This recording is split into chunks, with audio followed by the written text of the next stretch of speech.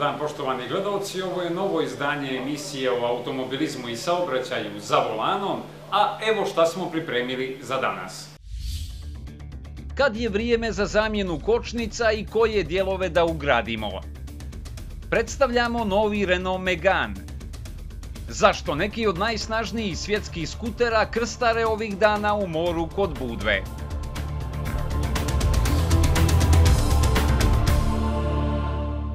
Za početak nekoliko aktuelnosti sa domaće i međunarodne scene. Jedan od najvećih proizvođača vozila za rekreaciju i sport, kanadski BRP, izabrao je Budvu za međunarodnu prezentaciju novih proizvoda za 2016. godinu. Hotel Mediteran ovih dana je baza za medijske ekipe iz centralne i istočne Europe i Rusije. Osim statične prezentacije, u Budvanskoj marini organizovane su test vožnje novih skutera za vodu Sea-Doo, a u Mrčevom polju prema Grblju specijalizovani novinari isprobavaju terenske sposobnosti četvorotočkaša i ATV vozila Kenem.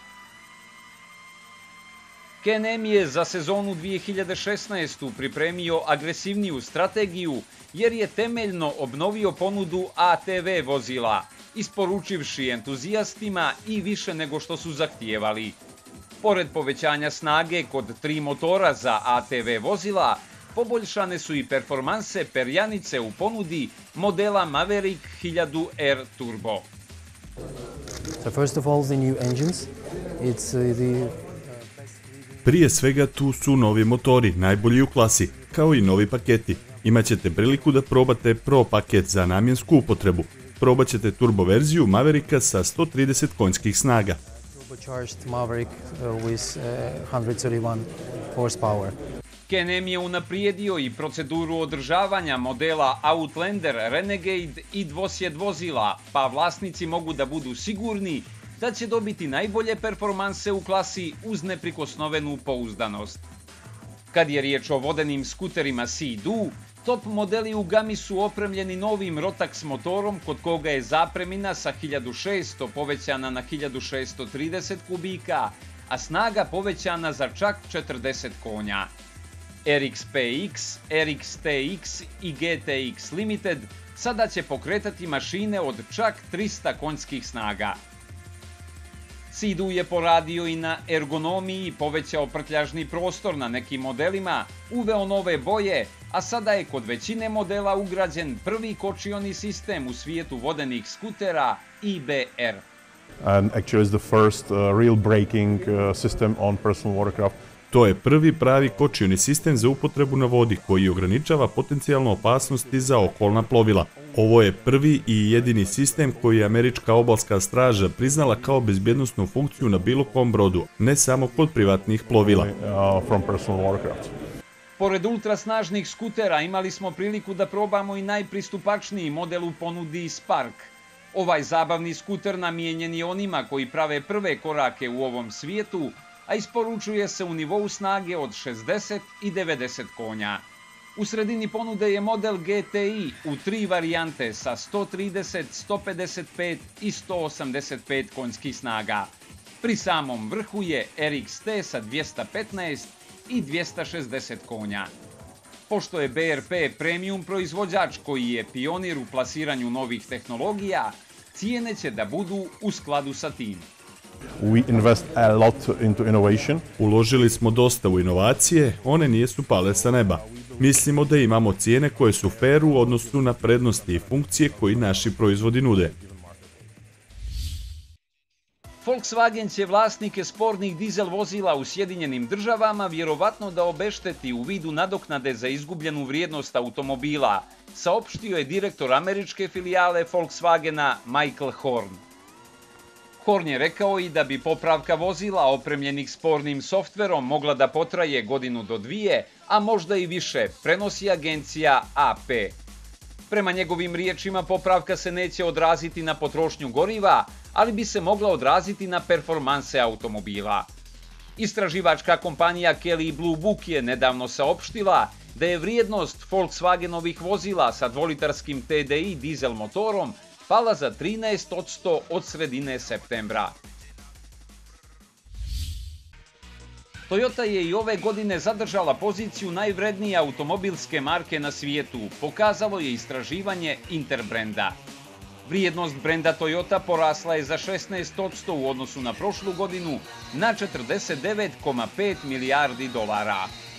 Osim što i dalje drži poziciju broj 1 među automobilskim markama, Toyota je zauzela visoko šesto mjesto na ukupnoj listi brendova iz svih privrednih oblasti. Ispred nje su samo Apple, Google, Coca-Cola, Microsoft i IBM. Što se tiče ostalih proizvođača automobila, BMW je drugi najvredniji automobilski brend, a ukupno 11. dok je treći Mercedes zauzeo poziciju broj 12 na listi najvrednijih svjetskih brendova.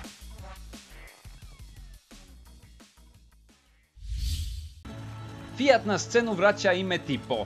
Za razliku od nekadašnjeg malog hatchbacka, sada je u pitanju kompaktna limuzina zasnovana na nedavno predstavljenom prototipu AEG-a. U kompaniji kažu da je ideja bila da se postigne osobenost i stil bez ugrožavanja funkcionalnosti, kao i da se kupcima ponudi pristupačan automobil sa dobrim odnosom uloženog novca i dobijene vrijednosti.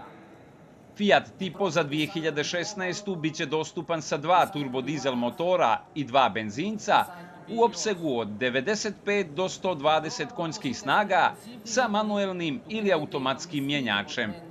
Prodaja novog modela počeće u decembru u Italiji, a potom i u ostatku Evrope kada će biti poznata i cijena i više tehničkih detalja.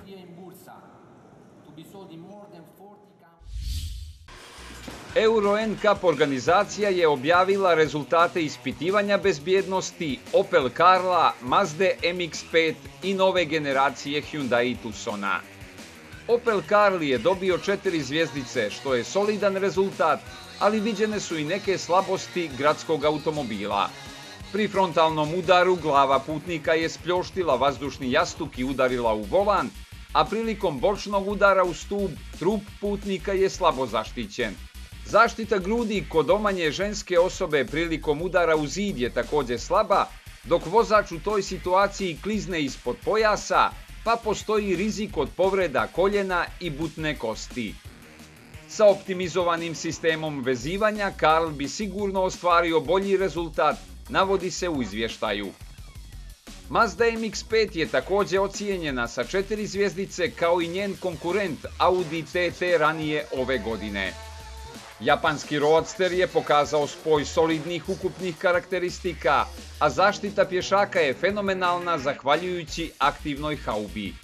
Ono što je Mazdi MX-5 nedostajalo za maksimalnu ocjenu je automatsko kočenje u urgentnim situacijama. U ovoj rundi imamo i jedan model sa maksimalnih 5 zvjezdica. Novi Hyundai Tucson je ostvario odličan rezultat u svim kategorijama. Autonomno kočenje kod ovog modela je ponuđeno kao opcija.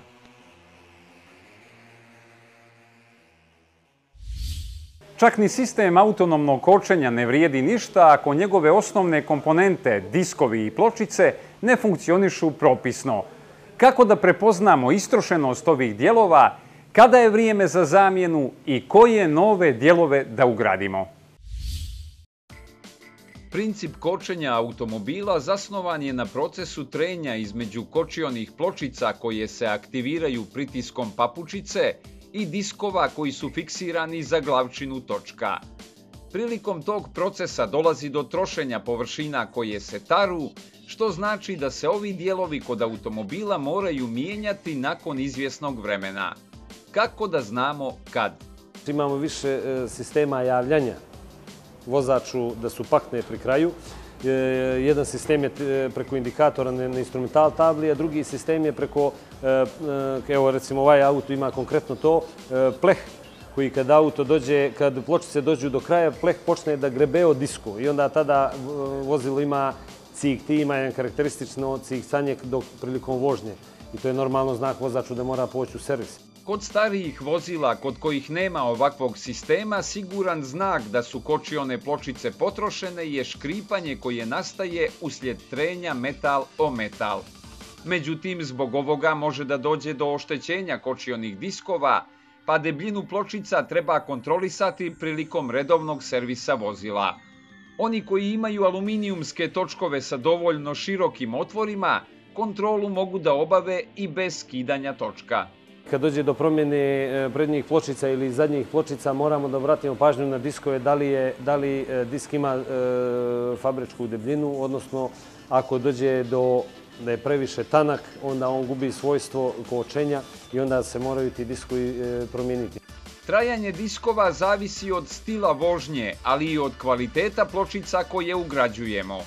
Pločice koje se suviše sporo troše u sebi imaju previše gvožđa, što dovodi do prijevremenog trošenja diska. Zato na njima ne treba štedjeti. U slučaju da se na disku pojave neravnine, kočiona moć vozila će biti oslabljena, ali za to ima lijeka. Disk može da se poravna, ponese se kod nastrug, kod majstora nastrug, on izmjeri debljinu e, diska, ako je u, u fabričkim nekim normalama, onda on može da ga poravna da bi, pločica bolje lijegala na disku, odnosno da bi čovjek imao bolje kočenje.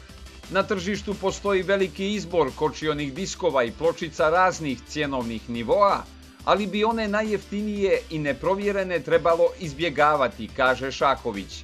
Naravno, kupovinom originalnih dijelova kod ovlašćenog dilera ne možete da pogriješite, ali moguće je kupiti i dijelove renomiranih proizvođača po dosta povoljnim cijenama. Kupci najviše traže nešto kvalitetno, niko neće da rizikuje da stavlja e, jeftinu marku pločica i diskova, a mi najviše preporučujemo Bosch, Techstar i Ferodo jer e, to je prva ugradnja u vozila Volkswagen, BMW, Audi. Da bi uporedili cijene, uzeli smo primjer nekih kvalitetnijih pločica i diskova za Golf 6.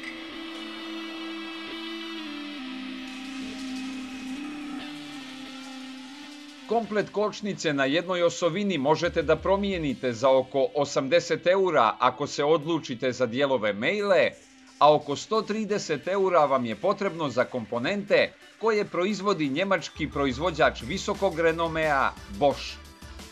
Uvijek preporučujemo da se minja sve u paru i da se kočeni sistem očisti i podmaže da, e, da ne bi došlo kasnije do škripanja ili eventualno krivljenja diskova. Automehaničari kažu da je interval zamjene diskova nakon otprilike 50.000 km. Ovaj rok vozač može da produži tako što racionalno koristi kočnice. Na primjer, ako nailazite na crveno svjetlo na semaforu, popustite gas nešto ranije i kočite prebacivanjem mjenjača u nižu brzinu. Osim poštede kočnica, na ovaj način ćete uštedjeti i na gorivu.